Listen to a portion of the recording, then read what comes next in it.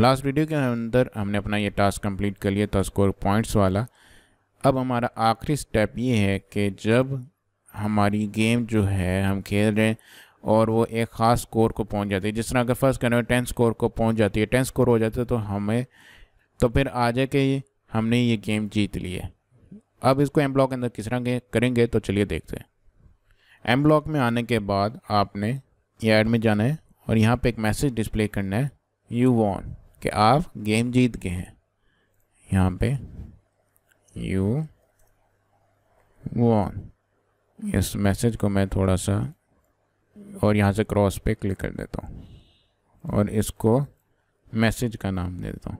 You von लिख देता हूँ, चले। और सिलेक्ट कर लिया। जब भी गेम स्टार्ट हो, सबसे पहले तो मैंने इसको हाइड करना है। वैन फ्लैग इज़ क्लिक तो लुक्स में जाऊँगा और इसको हाइड करूँगा। हाइड करने के बाद मैं वेट करूँगा। कब तक वेट करूँगा?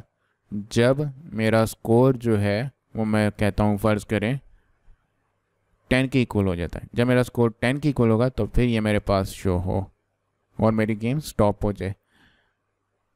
अब यहाँ से ऑपरेटर में जाऊँगा और ये इज़ इक्वल टू कि मैं चेक करूँगा स्कोर की कितनी वैल्यू हो जाए? यहाँ पे टेन मेरे पास ये मैसेज हाइड रहे और जब तक, तब तक हाइड रहे, जब तक स्कोर टेन नहीं होता।